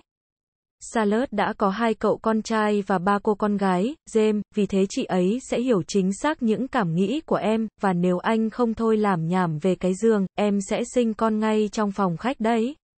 Đợi mà xem nếu em không làm thế. Amy rời phòng với một nụ cười tâu tuét trên môi. Chú James giờ đã tiến một bước dài trong việc hiểu được tầm quan trọng của việc mang thai, theo cô Georgina, thế nên ai mà nghĩ được cuối cùng chú ấy đã trở nên hoàn toàn thông suốt. Đáng lý ra cô nên gửi tin nhắn cho cả chú Anthony, mặc dù chú ấy chắc chắn sẽ đến cùng với cô Roslyn bằng bất cứ giá nào. Nhưng chú ấy đã nhận được một vài lời chọc ghẹo đáng ghét từ chú James vào ngày Judith ra đời, khi chú Anthony hết đứng lên lại ngồi xuống trong tình trạng bần thần cho đến khi mọi chuyện kết thúc. Chú ấy nên ở đây để thấy anh trai mình đã mạnh mẽ thế nào trong cùng một hoàn cảnh. Nhưng khi cô mở cửa, chẳng có thành viên nào trong gia đình cô đứng ở hiên nhà cả. Mà là năm người anh trai của cô Georgina, và không thể tưởng tượng được, Amy một lần nữa lại không thể thốt nên lời. Chương 5, nghe chọn bộ tại mê truyện audio.com. Ô, xin chào nhé, là Drew Anderson người vừa gõ cửa, và anh ta cũng là người đang đứng ngay trước mặt Amy, đang gửi đến cô một nụ cười rạng rỡ. Amy, phải không? Không, chờ đã, phải là tiểu thư Amy, bởi cha em là một bá tước hay mang tước hiệu gì đó tương tự mà. Derek nói như thể một ông vua già đã ban tặng danh hiệu cho cha cô vài năm trước vì sự phục vụ của ông cho vị vua đó vậy. Tôi nhớ chính xác mà phải không? Amy rất ngạc nhiên bởi anh ta đã nhớ mọi chi tiết về cô và đơn thuần chỉ thốt ra mà thôi, thêm một thông báo về tài chính nữa nhé. Cha tôi có một bàn tay vàng trong lĩnh vực đầu tư tiền nữa. Amy ngờ rằng mình được thừa hưởng năng khiếu đó từ cha cô, chính vì thế cô không bao giờ đánh cuộc với gia đình hay bạn bè, bởi theo bản năng của cô, cô rất hiếm khi thua. Tất cả chúng tôi hẳn phải rất may mắn, Ru tiếp tục, và ngay lúc này đôi mắt đen của anh ta di chuyển chậm rãi xuống thân hình của cô và sau đó trở lại, anh ta thêm vào với niềm thích thú. Nhưng nhìn em này, em đã trưởng thành rồi và đẹp như một bức tranh vậy. Lời tân bốc của anh ta trơn tru như thể nó đã được thực hành rất nhiều lần với các cô gái tuổi cô rồi ấy. Đây là người anh trai có người tình ở tất cả các cảng biển, sau tất cả, và chẳng có một chút gì gọi là nghiêm túc, theo như lời em gái của anh ta. Nhưng anh ta đã đặt Amy vào trung tâm của sự chú ý ngay bây giờ, bao gồm sự chú ý của anh ta, và cô không thể làm sao tưởng tượng nổi cuộc gặp tiếp theo của họ sẽ đi đến đâu nữa. Mắt cô liếc nhanh về phía người đàn ông mà cô đã lựa chọn, nhưng cô chỉ thấy sự mất nôn nóng, điều khiến anh gắt lên, vì chúa, Ru thân mến, nên nhớ rằng cậu không chỉ có một mình. Giữ lấy sự tán tỉnh của cậu vào lúc khác đi. Hay lắm, Ru à, Boy nói, thêm vào một cách lạnh lùng, em muốn gặp Georgie một khi chúng ta đã ở đây. Ru, đúng với bản chất của anh ta, chẳng có lấy chút vẻ hối lỗi nào. Amy, dù sao đi nữa, tất nhiên giờ trở nên rất bối rối khi cô nhớ lại nguyên nhân của chuyến thăm này, và bởi cô đang đứng chắn ngang đường đi của họ. Tệ hơn nữa, sự cáu giận với em trai anh đang dần chuyển sang cô, nếu như cái quắc mắt anh dành cho cô chính là dấu hiệu. Thật là không đúng lúc, cô quyết định không nói cho họ biết là họ đến không đúng thời điểm, bởi họ đã lâu không gặp em gái từ khi cô ấy xin các anh mình tha thứ để ra đi và mang thai. Với thái độ rất chững chạc cô biết việc này phải thực hiện đúng nghi thức, Amy bước sang một bên và nói, xin mời vào, các quý ông. Các ngài luôn được hoan nghênh, bởi ít nhất một thành viên trong gia đình này. Họ đã vào bên trong, từng ngọn núi một nối đuôi nhau vượt qua cô. Hai trong số họ chỉ cao có 6 feet thôi, nhưng ba người còn lại cao hơn ít nhất là 4 in cây. Hai trong số họ có mái tóc màu nâu tối của George trong khi tóc của những người anh trai khác mang nhiều sắc vàng hơn. Hai người có đôi mắt nâu đen, hai người khác có đôi mắt màu xanh nhạt, chúng làm cô nhớ tới những cây chanh tươi được chọn lựa kỹ càng. Chỉ duy nhất Ru có đôi mắt màu đêm tối. Tất cả bọn họ đều quá đẹp trai đối với một cô gái trẻ phải cố gắng giữ vẻ điềm tĩnh quá lâu. Khi tất cả đã ở bên trong lối vào, Ru gào lên hào hứng bằng chất giọng thuyền trưởng tốt nhất của anh ta, cô bé Georgie, em đang ở đâu thế? Vào lúc đó, vận rùi chết tiệt làm sao, phát ra từ phòng khách bên trái họ là tiếng gần như gầm gừ của James, trong khi George gọi bằng giọng rất vui mừng, ở đây nè, Ru, còn anh cẩn thận đấy, James. Mấy anh em nhà Anderson liền đi về phía phòng khách, nơi phát ra tiếng em gái họ. Amy, hoàn toàn quên mất khoảnh khắc vui sướng vừa rồi, đi sau bọn họ và tìm một chiếc ghế để cô có thể quan sát mọi thứ một cách kín đáo sự sum họp được mở đầu bằng những tiếng cười. Những cái ôm và cả những nụ hôn, ít nhất là giữa những người trong gia đình Anderson. James dĩ nhiên là không bao giờ làm thế, ra đứng cạnh lò sưởi với hai cánh tay bắt chéo và vẻ mặt dần trở nên tối hơn trong lúc này. Nhưng, thật ngạc nhiên, anh vẫn giữ im lặng, miễn cưỡng kết thúc cảm giác tồi tệ vì niềm vui rõ ràng của vợ mình. Không một ai trong mấy anh em kia chào anh. Cũng có vài cái nhìn không tin nổi rằng họ đang có thành ý, nhưng đều bị chặn đứng bởi thái độ thù địch giành giành của anh. Amy quan sát George Zainer thật kỹ. Những cơn đau của cô ấy đến và đi, nhưng cô không biểu lộ chút nào về chúng ngoài một chút cứng rắn yếu ớt và việc tạm nghỉ thật nhanh nếu cô ấy đang nói. Chú Jem không để ý, tạ ơn Chúa, nếu không tất cả mọi thứ chết tiệt sẽ mất kiểm soát cho xem. Những ông anh trai cũng không chú ý, và rõ ràng là cô Georginer không muốn họ phát hiện ra, bất cứ giá nào không phải là lúc này. Cô ấy quá nhớ họ bởi đã bỏ họ mà đi khi họ chỉ vừa mới đến. Amy cũng quan sát những người anh nữa, có vài điều cô không thể làm khác được khi họ bắt đầu tranh nhau gây sự chú ý cho Georginer. Amy nghe nói rằng không mấy khi cả năm người cùng có mặt khi George ở nhà, bởi họ đều là những thủy thủ, đều là những thuyền trưởng của những con tàu của chính họ, trừ Boy. Người vẫn chưa sẵn sàng cho trách nhiệm đó. Họ chọc ghẹo không thương tiếc về kích cỡ của cô và giọng anh đặc sệt trong những ngày này, trong khi cô trả đũa lại Warren và Boy vì không thèm cắt tóc từ lần cuối cô nhìn thấy họ và họ đã thể hiện, bằng rất nhiều cách khác nhau, họ quan tâm đến cô ấy nhường nào. Ngay cả Warren lầm lì cũng bị cô bắt gặp với cái nhìn dịu dàng trên khuôn mặt anh khi anh ấy nhìn chằm chằm em gái mình. Hai lần James xen vào, nói về tên của George Zainer, hoặc ít nhất là giải thích về nó, và đặt một cảnh báo đầy đủ với những từ ngữ rời rạc ấy nhưng cô đã cắt phượt một cái với câu, không phải lúc này, James, và quay trở lại với bất cứ cái gì mà cô đang nói. Chỉ có duy nhất Thomas, người Anh giữa, bắt đầu hướng cái nhìn lo ngại về thái độ của James. Và một tiếng gõ cửa khác lại vang lên, người chịu trách nhiệm đặt dấu chấm hết cho cuộc sum vầy đã đến. Ít nhất James cũng nghĩ như thế, bởi anh bất ngờ trở nên căng thẳng. George thì không, và cô nhìn Amy rồi nói, cô vẫn chưa sẵn sàng đâu, Amy. Cháu có phiền không? Những từ nghe có vẻ bí mật đã khiến vài người anh cau mày, và trực giác của Thomas đã bảo anh hỏi em gái mình, chưa sẵn sàng cho cái gì hả em? George lảng tránh câu hỏi và bắt đầu nói về một chủ đề mới. Nhưng Amy hoàn toàn hiểu và gửi cho George một nụ cười cam đoan rằng cô sẽ làm hết sức. Ba người anh trai quan sát cô rời phòng, nhưng người đàn ông mà cô muốn chẳng chú ý đến cô chút nào. Người khách mới đến là Roslyn, và bởi Anthony đã ở cạnh cô khi tin nhắn được gửi tới, tất nhiên giờ anh cũng đi cùng cô. Xét cho cùng dù đó là ai, Amy biết rằng đó cũng không phải là điều mà George Zainer muốn. Cô vẫn tiếp tục cố gắng, thì thầm, những người anh trai của cô York vừa mới đến, nhưng cô ấy không muốn họ biết rằng những cơn đau của cô ấy đã bắt đầu. Vì thế nếu được cô chú có thể giữ im lặng cho đến khi cô ấy. Roslyn gật đầu, nhưng Anthony thì cười nhăn nhở, và bất cứ ai quen Anthony Mallory cũng biết anh ta chẳng thể ngậm miệng lại. Chắc chắn là không nếu những gì anh ta nói đảm bảo sẽ trở thành nguyên nhân của một vụ om sòm và anh ta chỉ việc ngồi xuống rồi ngoác miệng cười. Amy thở dài, và dù sao cũng phải dẫn họ vào phòng khách bởi cô không thể cản chú mình vào nhà được. Cô đã cố gắng, và ánh mắt rụt rè cô trao cho George ngay khi trở vào căn phòng đã nói lên tất cả. Nhưng giờ George biết quá rõ Anthony hiển nhiên như cảm giác yên tâm khi ở bên gia đình ấy, thế nên cô chẳng ngạc nhiên chút nào với những từ đầu tiên đầu tiên được thốt ra từ miệng cậu ta. Vậy là, George, chắc là chị sẽ mở đầu cho một phong cách mới, phải không? Sinh con trong sự tụ họp đông đủ của gia đình, và trong phòng khách, không hơn.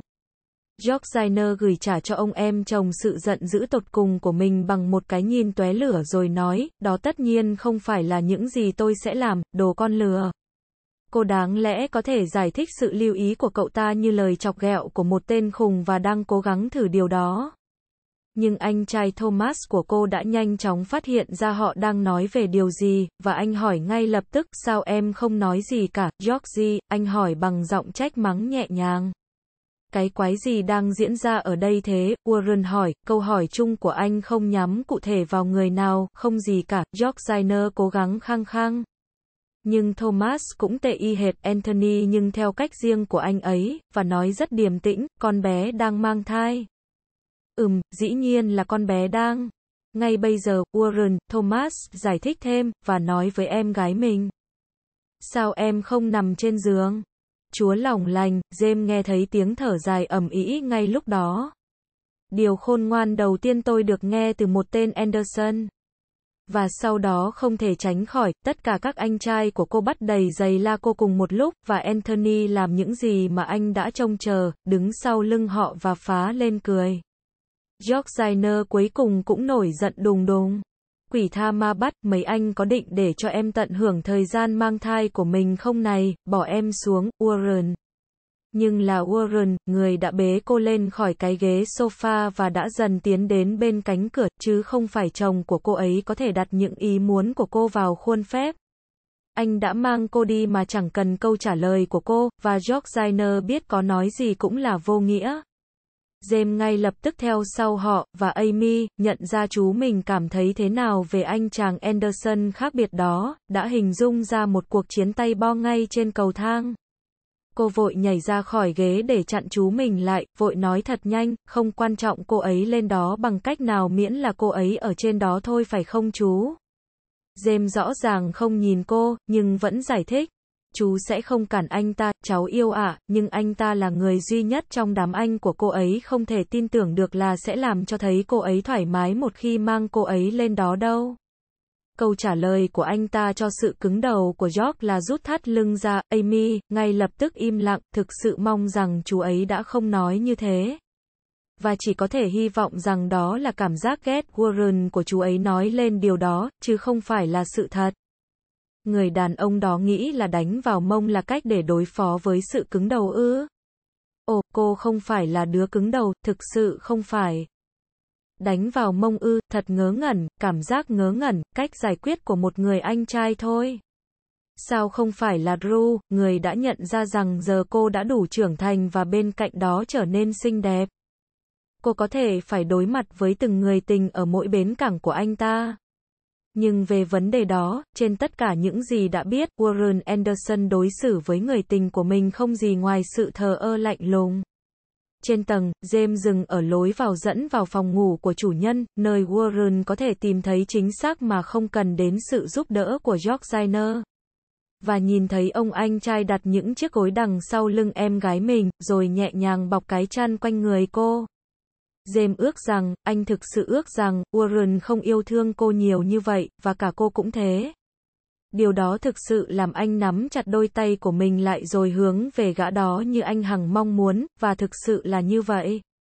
Và anh đã nghe thấy cái giọng thật sự trầm trọng của Warren, và lúc này nó đã trở nên bớt thô lỗ, đừng giận, Georgie.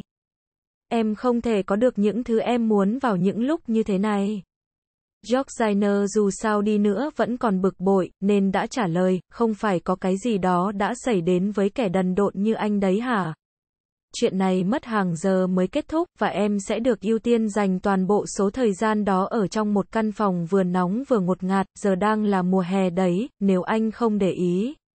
Sẽ chẳng có gì ngoài cảm giác về những cơn đau.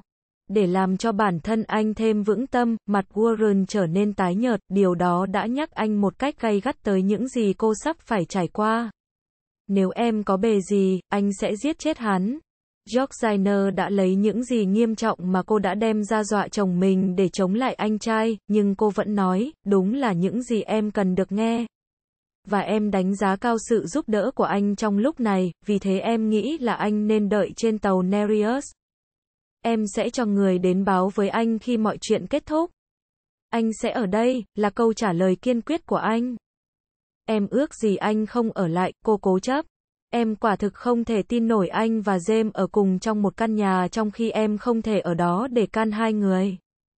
Anh sẽ ở lại, thì ở lại, sau đó thì sao, cô gắt lên, đánh mất sự kiên nhẫn. Nhưng phải hứa với em là sẽ không có một cuộc đánh nhau nào cả, và em muốn điều đó, Warren. Em phải có lời hứa của anh. Em không thể lo lắng về hai người vào lúc như thế này được. Được thôi, anh đồng ý cực kỳ miễn cưỡng. Và cũng có nghĩa là anh sẽ không phản ứng theo thói quen của anh trước bất kỳ cái gì James nói trong lúc anh ấy lo lắng. Ngày hôm nay anh ấy không còn được như chính mình nữa. Anh hứa, chết tiệt, Warren cầu nhau. Chỉ sau lúc đó anh mới mỉm cười với cô. Anh cố gắng đừng quá lo lắng. Em sẽ ổn mà. Trời ơi ai là người sắp sinh con ở đây vậy nè trời. Anh gật đầu và bước về phía cửa, chỉ ngừng lại trong một chốc khi cuối cùng cũng bắt gặp cái nhìn của James. Về phần mình, James đã nghĩ tới nghĩ lui về sự cho phép bất ngờ mà lời hứa đã trao cho anh, chỉ nhận thức được là, thật không may, rằng anh thích ở trong thế bất lợi trong chuyện này.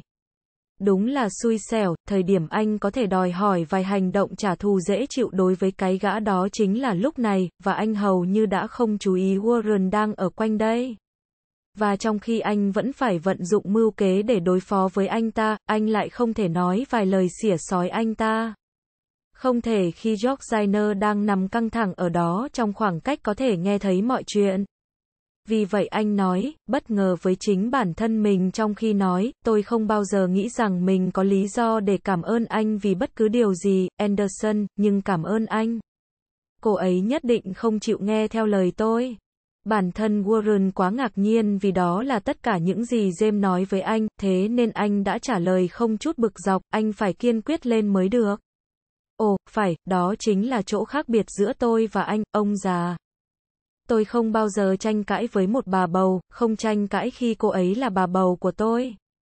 Cô ấy có thể yêu cầu tôi đào bới căn nhà này bằng tay không và tôi sẽ vui lòng làm tất cả vì hạnh phúc của cô ấy. Warren trả lời với sự chê trách, sự nuông chiều không phải lúc nào cũng tốt. Câu nói này làm James cười khúc khích. Hãy nói với bản thân mình ấy, tên Mỹ.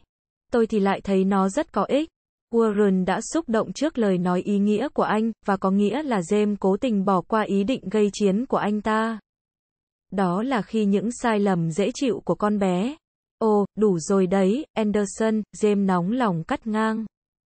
Dĩ nhiên là tôi biết. Và cô ấy còn lâu nữa mới được xuống tầng dưới, mặc cho ý muốn của cô ấy, tôi đảm bảo với anh. Anh sẽ thật sự không thích khi biết điều này, tôi chăm sóc vợ tôi rất tốt.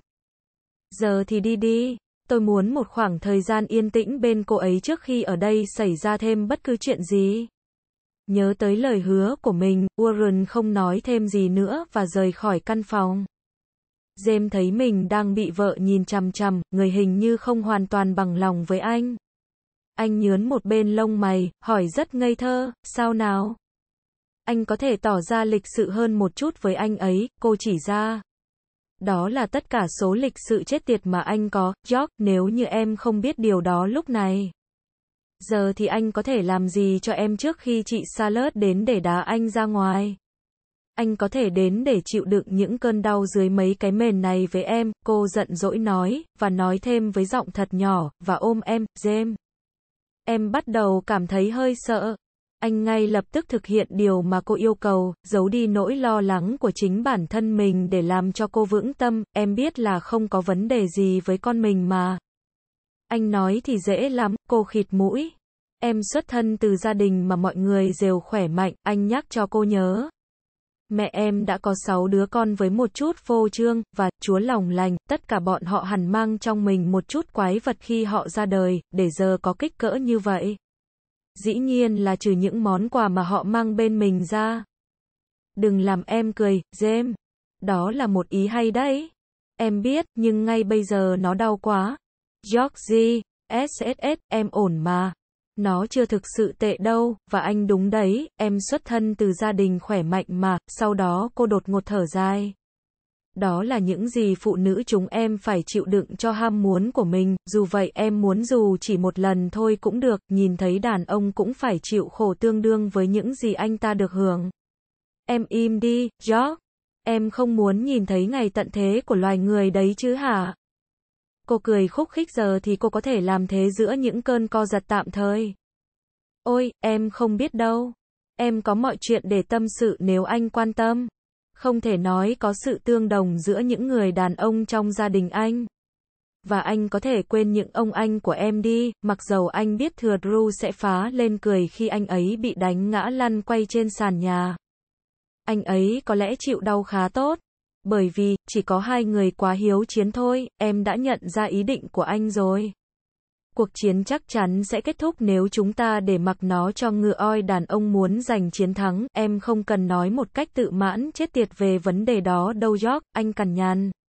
Em chỉ dựa trên quan điểm của những người phụ nữ về những chuyện đó thôi, và quả thật phụ nữ bọn em chẳng có lựa chọn nào khác trong việc này khi nó xảy ra. Sau tất cả, anh sẽ không thấy được chúng em phải chịu trách nhiệm về hậu quả như thế nào đâu. Em thắng rồi, em yêu, anh cắt ngang một cách khô khốc, sau đó dịu dàng nói, cảm thấy dễ chịu hơn chưa em? Rồi, cô cười nhăn nhở,